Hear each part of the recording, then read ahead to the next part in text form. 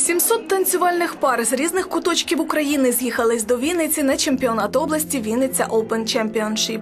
В ритмі вальсу, танго, пасадобля рухались учасники, яким від 5 до 35 років. За ними прискіпливо спостерігала кагорта суддів.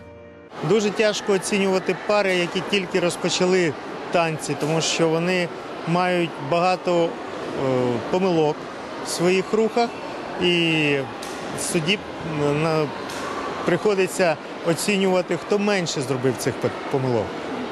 Музичність виконання, технічність, рухи ніг, стегон спини це критерії оцінки виступу пар. Перед тим як вийти на паркет, учасники завзято тренуються. Даша та Ілля до виконання пасадобля. Щоправда, замість підборів на дівчині домашнє взуття. Перед тим як виходити на сцену дуже сильно болять ноги і приходиться танцювати так. У першому відділенні виступали переважно початківці, тож під час нагородження шквал емоцій та сліз. Восьмирічна Міла Порошина з Кіровограду отримала чотири медалі. Зізналась, і в неї були поразки, але навчилась стримувати емоції. Треба там вдохнути три рази і наступний раз е, лучше станцювати.